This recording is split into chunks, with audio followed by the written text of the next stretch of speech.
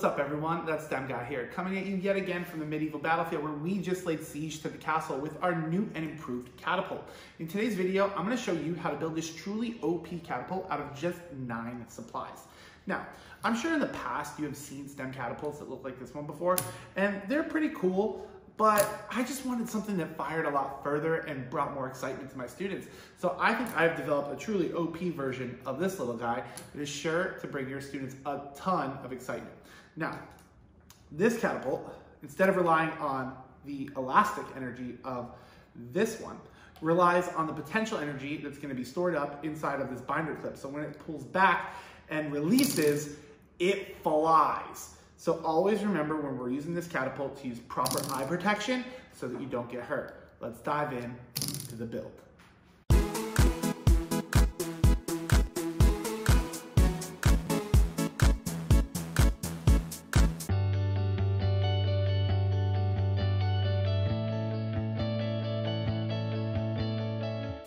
To begin, we're going to take a craft stick and we are going to attach the binder clip to it.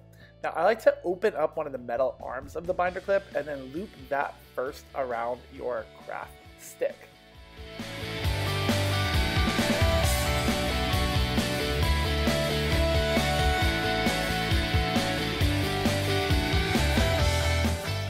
Go ahead and bend that arm back down. Now open up your binder clip and loop a rubber band through the opening of the binder clip.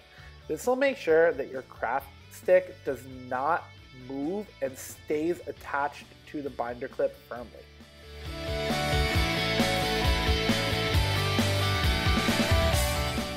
Just repeat that process on the other side. Use one rubber band to attach the metal arm and another rubber band to attach the craft stick to the inside of the binder clip, making it nice and secure.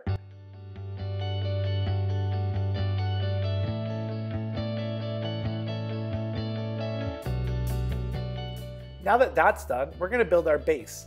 Make a cross at the bottom and then just use a rubber band to loop and secure that popsicle stick in that cross shape and that'll give your catapult a lot of stability when you fire it.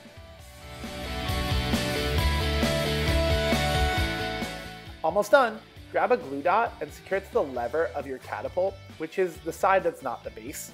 And I like to put my glue dot about a half an inch from the top so that I have some room for my finger to pull back on the catapult. And go ahead and secure a soda cap or water bottle lid to build your bucket. We're now ready to fire. I love using mini marshmallows, but you can use all sorts of projectiles. Go ahead and pull on back and make sure you're holding the base of your catapult. And this thing, I'm telling you guys, it will launch super duper far. So be careful and use eye protection. So there you have it. If you enjoyed this build, please make sure to mash that like button and smash that subscribe button to follow along for more build videos like these, STEM product reviews, lesson plans, lesson overviews, what I wish I knew, program building tips.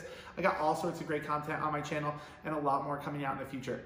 So remember, no matter where you are learning from today or where you are teaching from today, I hope that you are having a great day and I will see you next time.